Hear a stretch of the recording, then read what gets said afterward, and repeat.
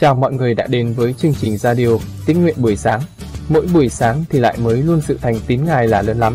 Lời Chúa là thức ăn thuộc linh cho chúng ta mỗi ngày để đắc thắng cám dỗ tội lỗi xác thịt xung quanh chúng ta. Ngài bổ lại linh hồn bạn, dẫn bạn vào các lối công bình. Vì cớ danh Ngài, Chúa thêm sức mới cho bạn. Chúa thêm lên cho bạn đức tin. Mỗi ngày càng gần Chúa và giống Chúa hơn và có mối quan hệ mật thiết với Chúa mỗi ngày. Chúa yêu bạn rất nhiều. Chương 6 Vua Darius bèn truyền tra khảo trong tàng thư viện là nơi chứa các bửu vật tại Babylon. Người ta tìm được trong đồn ở Ecbatan tại tỉnh Medi một cuốn giấy trên đó có di tích như vậy. Năm thứ nhất, đời Siru. vua Siru ra chiếu chỉ về đền của Đức Chúa Trời tại Jerusalem rằng khá xây cất lại đền của Đức Chúa Trời, đặng làm nơi dân những của lễ, các nền nó phải lập cho vững bền. Đền thờ sẽ 60 thước bề cao và 60 thước bề dài. Nó sẽ có ba hàng đá nguyên khối và một hàng đòn tay gỗ mới. Còn tiền sở phí thì phải cấp phát từ trong nhà vua. Lại, các khí dụng bằng vàng và bạc của nhà Đức Chúa Trời mà Nebuchadnezzar đã lấy trong đền thờ tại của Jerusalem và đem qua Babylon thì phải trả lại và đem về trong đền thờ tại Jerusalem. Khí dụng này trong chỗ nấy, ngươi phải để nó tại chỗ cũ trong nhà của Đức Chúa Trời. Vậy, bây giờ, hỡi Tác Tê Nai, tổng đốc của xứ phía bên kia sông, Sheta Bosenai và các đồng liêu người ở A Phạt Sát bên kia sông, hãy gian ra, khá để cho quan cai của người Juda và những người trưởng lão của chúng xây cất lại đền thờ của Đức Chúa Trời tại nơi cũ nó. Này, ta ra lệnh, truyền các ngươi phải làm gì đối với các trưởng lão dân Juda đặng giúp việc cất lại cái đền của Đức Chúa Trời. Hãy lấy thuế khóa thâu ở bên kia sông, vội cấp phát các tiền chi phí cho những người đó để công việc chẳng bị dứt chừng. Phàm vật chi cần kiếp, hoặc bò tơ đực, chiên đực hay là chiên con để dùng làm của lễ thiêu dân cho Đức Chúa trên trời, hoặc lúa mì, muối, rượu hay là dầu, theo lời những thầy tế lễ ở tại Jerusalem, khá giao cho họ mỗi ngày, chớ thiếu. Hầu cho họ dâng những của lễ có mùi thơm cho Đức Chúa trên trời và cầu nguyện cho sanh mạng của vua và của các vương tử. Ta cũng truyền lệnh rằng, nếu ai cãi chiếu chỉ này, thì khá rút một cây đòn tay trong nhà kẻ ấy, rồi treo nó tại đó, và vì cớ tội ấy, làm cho nhà nó thành ra một chỗ đổ rác. Nguyện Đức Chúa Trời là đấng đã khiến danh Ngài ngự trong đền thờ ấy, hủy diệt vua nào, dân tộc nào, dám dơ tay ra cải chiếu này, đặng phá hủy đền thờ của Đức Chúa Trời ở tại Jerusalem. Ta là Darius, ban chiếu chỉ này, khá làm theo nó cách cần mẫn. Tắc Tê Nai, quan tổng đốc của xứ phía bên này sông, Seta Bosenai và các đồng liêu họ, bèn cần mẫn tuân theo chiếu chỉ mà vua Darius đã sai đến. Ấy vậy, các trưởng lão của dân Juda bắt tay cất lại đền thờ. Công việc được may mắn, y lời tiên tri của tiên tri Age và của Sachari, con trai của Ido. Vậy, chúng làm xong công việc cất đền thờ, tùy theo mạng lệnh của Đức Chúa Trời của Israel và theo chiếu chỉ của Shiru, Darius và Artaxerxes vua nước Pharisee. Ngày thứ ba tháng Ada, nhằm năm thứ sáu đời vua Darius, cái đền này được xây cất cho xong. Dân Israel, những thầy tế lễ, người Lê-vi và những người khác đã bị bắt làm phu tù được về, đều giữ lễ khánh thành đền thờ của Đức Chúa Trời cách vui mừng. Về lễ khánh thành đền thờ này, chúng dân 100 con bò đực, 200 con chiên đực, 400 con chiên con và tùy theo số các chi phái Israel, chúng dân 12 con dê đực làm của lễ chuộc tội cho cả dân Israel. Chúng lập lên những thầy tế lễ của các người Lê-vi tùy theo ban thứ của họ, đặng phục sự Đức Chúa Trời tại Jerusalem, y như đã chép trong sách của Môi-se. Đoạn, ngày 14 tháng Giêng, các người đã bị bắt làm phu tù được về giữ lễ vượt qua. Vì những thầy tế lễ và người Lê-vi cả thảy đã dọn mình cho thanh sạch không trừ ai. Rồi, chúng vì hết thảy người đã bị bắt làm phu tù được về, vì những thầy tế lễ là anh em mình và vì chính mình mà giết con sinh dùng về lễ vượt qua. những người Israel đã bị bắt làm phu tù được về, bèn ăn lễ vượt qua, luôn với những người đã tự chia rẽ ra sự ô uế của các dân tộc trong xứ, đến theo dân Israel đặng tìm kiếm Jehovah Đức Chúa Trời của Israel. Trong bảy ngày, chúng giữ lễ bánh không men cách vui vẻ, vì Đức Giê-hô-va đã làm cho lòng chúng được khoái lạc và có cảm động lòng vua Assyri đói xem chúng, đặng giúp đỡ trong cuộc xây cất đền của Đức Chúa Trời, tức là Đức Chúa Trời của Israel. Chương 7 Sau các việc ấy, nhằm đời Artaxerxes, vua Pharisee, có Esra là con trai Seraya, Seraya, con trai của Hinh kia, Hinh kia, con trai của Salum, Salum, con trai của Sadok, Sadok con trai của Ahitub, Ahitub, con trai của Amaria, Amaria, con trai của Asaria, Asaria, con trai của Merayot, Merayot, con trai của Serahiya. Serahiya, con trai của Uzi. Uzi, con trai của Buki, Buki, con trai của Abishua, Abishua, con trai của Phinea, Phinea, con trai của Eleasa, Eleasa, con trai của Aaron, là thầy tế lễ thượng phẩm. Ezra này từ Babylon đi lên. Người là một văn sĩ thạo luật pháp của Môi-se mà Jehovah Đức Chúa Trời của Israel đã truyền cho. Vì tay của Đức Giê-hô-va phù trợ người, nên vua ban cho người mọi điều người xin. Nhằm năm thứ bảy, đời vua Artaxerxes, có mấy người trong dân Israel, trong bọn thầy tế lễ và người Lê-vi, kẻ ca hát, người giữ cửa và người Nethinim đều đi cùng người trở lên Jerusalem. Tháng 5, năm thứ bảy đời vua ấy, Esra đến thành Jerusalem. Và ngày mùng 1 tháng Giêng, người ở Babylon khởi hành, rồi ra nhờ tay nhân lành của Đức Chúa Trời phù trợ, người đến Jerusalem ngày mùng 1 tháng thứ năm. Vì Esra đã định chí tra xét luật pháp của Đức Giê-hô-va, giữ làm theo và dạy cho dân Israel biết những luật pháp và giới mạng. Này là bản sao lại chiếu chỉ mà vua Artaxerxes giao cho Esra, thầy tế lễ và văn sĩ, thảo biết trong những điều răn luật lệ của Đức Giê-hô-va đã truyền cho Israel.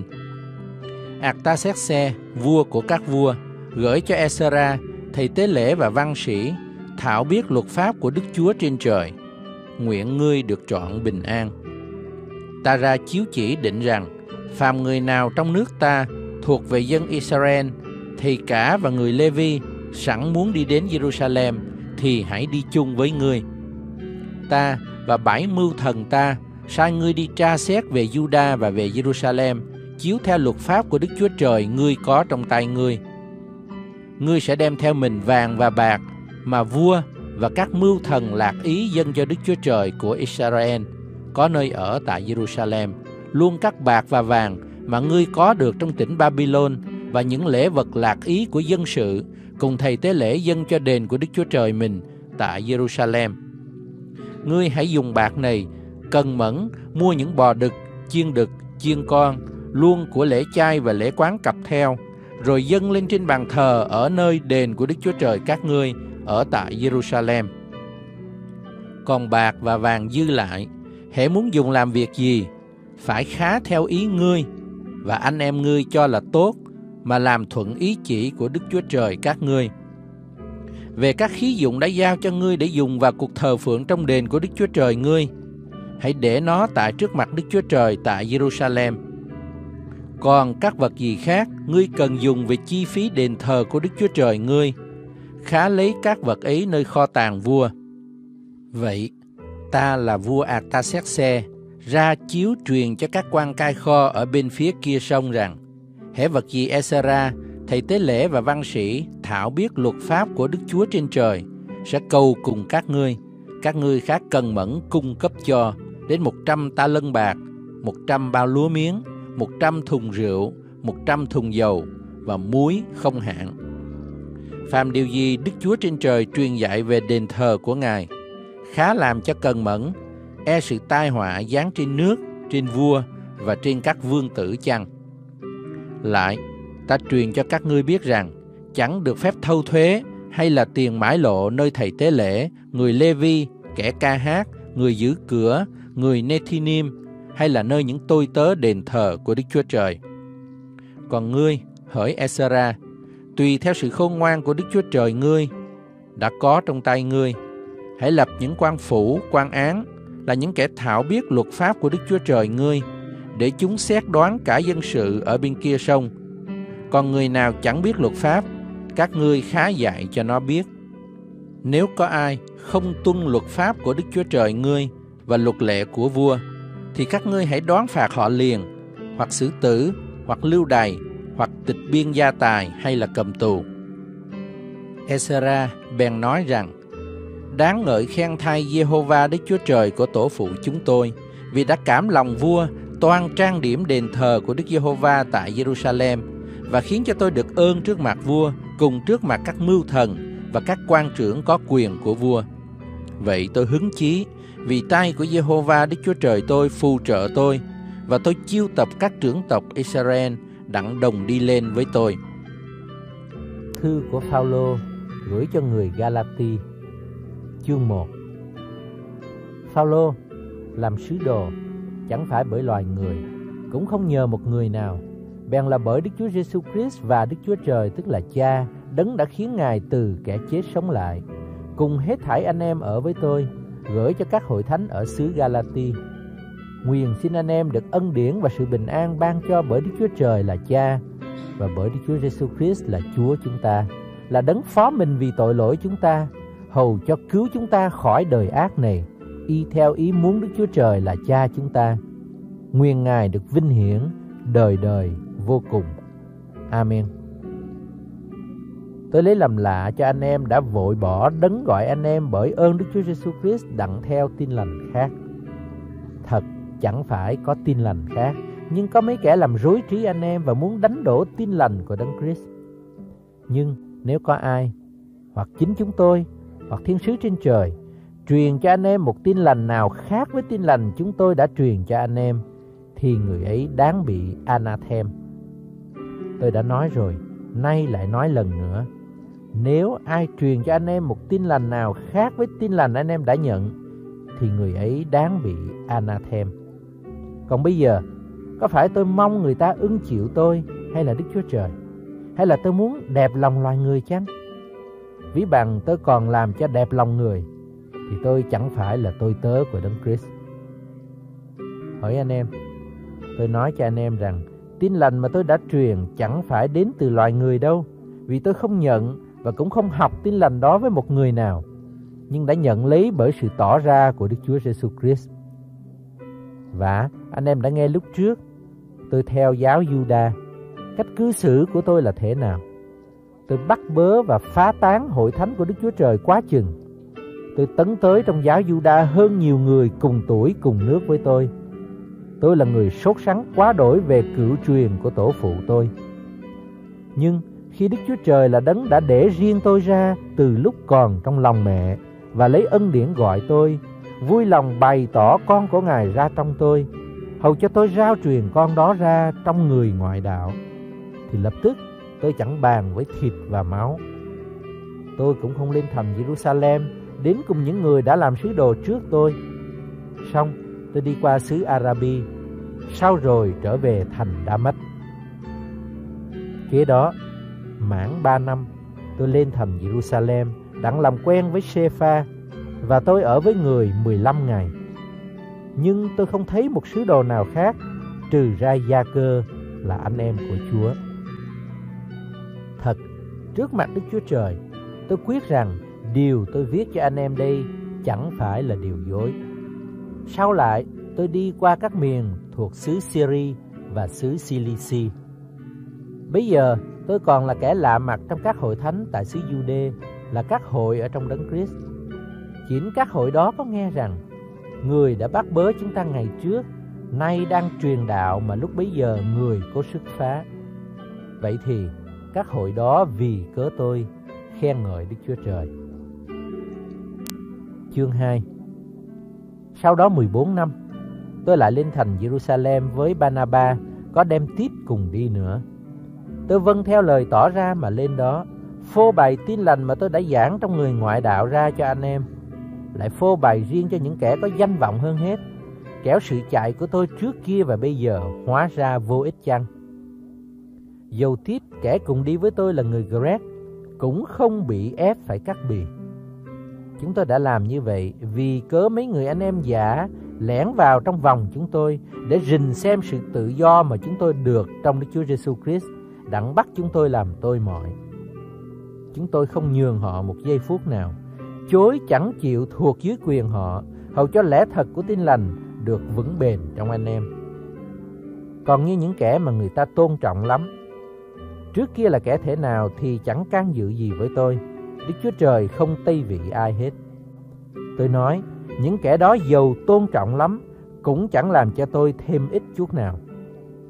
Trái lại, họ thấy sự giảng tin lành cho kẻ không chịu phép cắt bì đã giao cho tôi, cũng như sự giảng tin lành cho người chịu phép cắt bì đã giao cho phi vậy.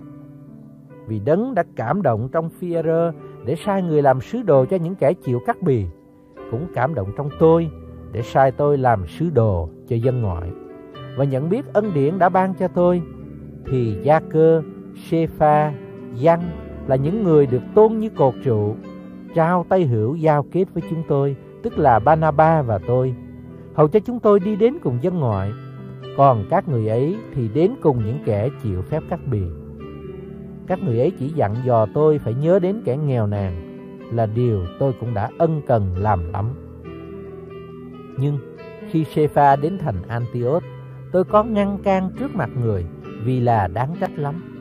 Bởi trước lúc mấy kẻ của gia cơ sai đi chưa đến thì người ăn chung với người ngoại. Vừa khi họ đã đến thì người lui đứng riêng ra bởi sợ những kẻ chịu phép cắt bì.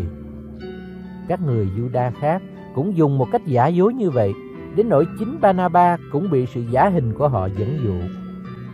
Nhưng khi tôi thấy họ không đi ngay thẳng theo lẽ thật của tin lành, thì nói với Sepha trước mặt mọi người rằng nếu anh là người Juda mà ăn ở theo cách dân ngoại, không theo cách người Juda, thì làm sao anh ép dân ngoại phải theo thói Juda? Về phần chúng tôi, thì sinh ra là người Juda, không phải là kẻ có tội từ trong dân ngoại. Dầu vậy, đã biết rằng người ta được xưng công bình chẳng phải bởi các việc luật pháp đâu, bèn là cậy đức tin trong Đức Chúa Giêsu Christ. Nên Chính chúng tôi đã tin Đức Chúa Giêsu Christ để được xưng công bình bởi đức tin trong Đấng Christ, chớ chẳng bởi các việc luật pháp. Vì chẳng có ai được xưng công bình bởi các việc luật pháp. Nhưng nếu đăng khi chúng tôi tìm cách được xưng công bình trong Đấng Christ mà chính chúng tôi bị nhận là kẻ có tội, vậy thì Đấng Christ chẳng là làm tôi của tội lỗi sao? Chẳng hề như vậy. Thật thế, nếu tôi lập lại điều tôi đã phá hủy thì tôi sẽ tỏ ra chính tôi là người phạm phép. Và bởi luật pháp, tôi đã chết cho luật pháp để sống cho Đức Chúa Trời. Tôi đã bị đóng đinh vào thập tự giá với Đấng Christ. Mà tôi sống không phải là tôi sống nữa, nhưng Đấng Christ sống trong tôi. Nay, tôi còn sống trong xác thịt. Ấy là tôi sống trong đức tin của con Đức Chúa Trời, là Đấng đã yêu tôi và đã phó chính mình Ngài vì tôi. Tôi không muốn làm cho ân điển Đức Chúa Trời ra vô ích. Vì nếu bởi luật pháp mà được sự công bình, thì Đấng Christ chịu chết là vô ích. Chương 3 Hỏi người Galati ngu muội kia, ai bùa ếm anh em là người mà trước mắt đã được rõ bày ra Đức Chúa Giêsu Christ bị đóng đinh trên thập tự giá? Tôi chỉ hỏi anh em một câu này. Ấy là cậy các việc luật pháp hay là bởi nghe và tin mà anh em đã nhận được Đức Thánh Linh? Sao anh em ngu muội dường ấy? Sau khi đã khởi sự nhờ Đức Thánh Linh, nay sao lại cậy xác thịt mà làm cho trọn? Anh em há luống công mà chịu sự khốn khó dường ấy sao? Nếu quả là luống công. Đấng ban Đức Thánh Linh cho anh em và làm các phép lạ trong anh em thì làm bởi các việc luật pháp hay là bởi đã nghe mà tin? Như Abraham tin Đức Chúa Trời thì đã kể là công bình cho người. Vậy anh em hãy nhận biết rằng những kẻ có đức tin là con cháu thật của Abraham. Kinh Thánh cũng biết trước rằng Đức Chúa Trời sẽ xưng dân ngoại là công bình bởi đức tin nên đã rao truyền trước cho Abraham tin lành này. Các dân sẽ nhờ ngươi mà được phước. Ấy vậy, ai tin thì nấy được phước với Abraham là người có lòng tin. Vì mọi kẻ cậy các việc luật pháp thì bị rủa xả, bởi có chép rằng đáng rủa thay là kẻ không bền đổ trong mọi sự đã chép ở sách luật đặng làm theo những sự ấy. vả lại, chẳng hề có ai cậy luật pháp mà được xưng công bình trước mặt Đức Chúa Trời. Điều đó là rõ ràng lắm, vì người công bình sẽ sống bởi đức tin. Và luật pháp vốn không phải đồng một thứ với đức tin, nhưng luật pháp có chép rằng người nào vâng giữ các điều răn thì sẽ nhờ đó mà sống. Đấng Christ đã chuộc chúng ta khỏi sự rủa xả của luật pháp, bởi Ngài đã nên sự rủa xả vì chúng ta. Vì có lời chép, đáng rủa thay là kẻ bị treo trên cây gỗ. Hầu cho phước lành ban cho Abraham nhờ Đức Chúa Giêsu Christ mà được rải khắp trên dân ngoại, lại hầu cho chúng ta cậy đức tin mà nhận lãnh Đức Thánh Linh đã hứa cho. Hỏi anh em, tôi nói theo thói quen người ta rằng, khi một người đã làm tờ giao ước thành rồi, thì không ai có phép được xóa đi hay thêm vào sự gì. Và các lời hứa đã được phán cho Abraham và cho dòng dõi người, không nói và cho các dòng dõi người như chỉ về nhiều người, nhưng nói và cho dòng dõi ngươi như chỉ về một người mà thôi, tức là Đấng Christ. Vậy thì tôi nói rằng lời giao ước mà Đức Chúa Trời trước kia đã kết lập thành rồi thì không có thể bị hủy đi và lời hứa cũng không có thể bị bỏ đi bởi luật pháp là sự cách sau 430 năm mới có. Vì nếu cơ nghiệp được ban cho bởi luật pháp thì không bởi lời hứa nữa. Nhưng Đức Chúa Trời đã dùng lời hứa mà ban cơ nghiệp cho Abraham. Vậy thì, làm sao có luật pháp? Luật pháp đã đặt thêm vì cớ những sự phạm phép cho tới chừng nào người dòng dõi đến là người mà lời hứa đã hứa cho. Luật pháp được ban ra bởi mấy thiên sứ và truyền ra bởi một người trung bảo. Và người trung bảo chẳng phải là người trung bảo về một bề mà thôi. Nhưng Đức Chúa Trời chỉ có một. Vậy thì luật pháp nghịch cùng lời hứa của Đức Chúa Trời hay sao? Chẳng hề như vậy. Vì nếu đã ban cho một luật pháp có thể làm cho sống thì sự công bình chắc bởi luật pháp mà đến. Nhưng Kinh Thánh đã nhốt hết thảy mọi sự dưới tội lỗi, hầu cho điều chi đã hứa bởi đức tin trong Đức Chúa Giêsu Christ mà được ban cho những kẻ tin. Trước khi đức tin chưa đến, chúng ta bị nhốt dưới sự canh giữ của luật pháp mà chờ đức tin phải bày ra. Ấy vậy, luật pháp đã như thầy giáo đặng dẫn chúng ta đến đấng Christ, hầu cho chúng ta bởi đức tin mà được xưng công bình. Song khi đức tin đã đến, chúng ta không còn phục dưới thầy giáo ấy nữa.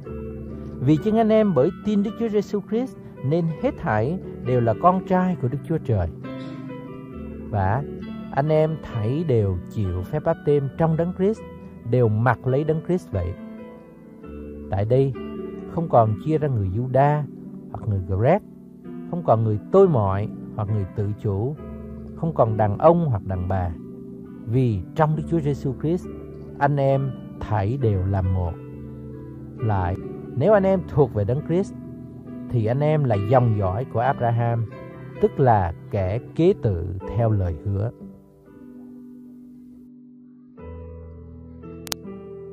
Thi thiên 150 Hallelujah Hãy ngợi khen Đức Giê-hô-va trong nơi thánh Ngài Hãy ngợi khen Ngài trên bầu trời về quyền năng Ngài Hãy ngợi khen Ngài vì các việc quyền năng Ngài. Hãy ngợi khen Ngài tùy theo sự oai nghi cả thể của Ngài. Hãy thổi kèn ngợi khen Ngài, gãi đơn sắc đơn cầm mà ca tụng Ngài.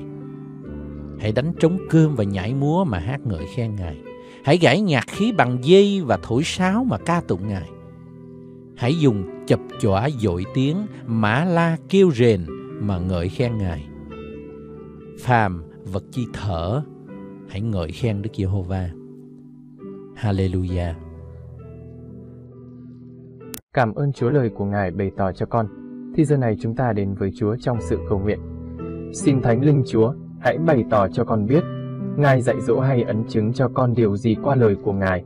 Xin lời của Ngài được linh hồn con ăn nuốt vào trong tấm lòng và tâm trí của con mỗi ngày thêm lên lời của Ngài, để linh hồn con được tăng trưởng, thêm lên đức tin đặt để nơi Ngài. Xin Chúa cho con biết về Ngài nhiều hơn và con khát khao mối quan hệ mật thiết với Ngài nhiều hơn. Lạy Chúa con cảm ơn Ngài, mỗi ngày mới Ngài ban cho con hơi thở để tiếp tục sống trên đất này. Con nguyện huyết báo của Chúa Giêsu Christ thanh tẩy, tẩy sạch, bôi xóa những suy nghĩ, tư tưởng, hành động trong tâm trí, trong tấm lòng của con như ấy là gian dâm, ô uế, lung tuồng, thờ hình tượng, phù phép, thù oán, tranh đấu, ghen ghét, buồn, giận, cãi lẫy, bất bình, bè đảng, ganh gổ, say sưa, mê ăn uống, cùng các sự khác giống như vậy. Con nguyện xin dòng huyết báo của Ngài tẩy sạch bôi xóa sự xác thịt của con không đẹp lòng Ngài ra khỏi con ngay giờ này. Bây giờ con được thánh sạch đứng trước mặt Ngài. Chúa ơi xin hãy cáo trách và thanh tẩy khi môi miệng con nói điều dơ giấy không đẹp lòng Ngài. Xin Chúa hãy thêm sức và hướng dẫn con ăn, hoặc uống, hay là làm sự chi khác, hãy vì sự vinh hiển Đức Chúa Trời mà làm. Xin Chúa thêm lên cho con đức tin để mỗi ngày con trong cậy nơi Chúa càng hơn. Xin Chúa thêm lên sự sức giàu trên con để con bày tỏ danh của Ngài trên chính đời sống hàng ngày của con, để con như muối của đất, ánh sáng của thế gian. Con nguyện Thánh Linh Đức Chúa Trời đổ đầy, đầy dẫy con Chúa ơi, những bông trái của Thánh Linh, ấy là lòng yêu thương, sự vui mừng, bình an nhịn nhục, nhân từ, hiền lành, trung tín, mềm mại, tiết độ đầy dẫy trên con. Con xin Chúa thêm sức mới, thêm đức tin cho con. Xin Chúa dẫn dắt con để con đắc thắng một ngày mới trong ngày. Con cảm ơn Chúa, con dâng mọi vinh hiển tôn quý lên ba ngôi Đức Chúa Trời toàn năng và phước hạnh con nhận lãnh từ nơi Ngài. Và con thành kính dâng lên cha lời cầu nguyện trong danh Chúa Giêsu Christ. Amen. Cảm ơn bạn đã lắng nghe. Xin Thánh Linh Chúa cho sứ điệp này để khích lệ thêm động lực bạn bước đi với Chúa mỗi ngày. Mọi đóng góp ý kiến hay góp phần dâng hiến cho chương trình, xin gửi về gmail dưỡng linh cơ đốc 2020a gmail.com. Bạn ủng hộ chương trình bằng cách chia sẻ chương trình rộng rãi trên mạng Internet cộng đồng xã hội. Hẹn bạn dưỡng linh hàng ngày tiếp theo. Chúa yêu bạn rất nhiều.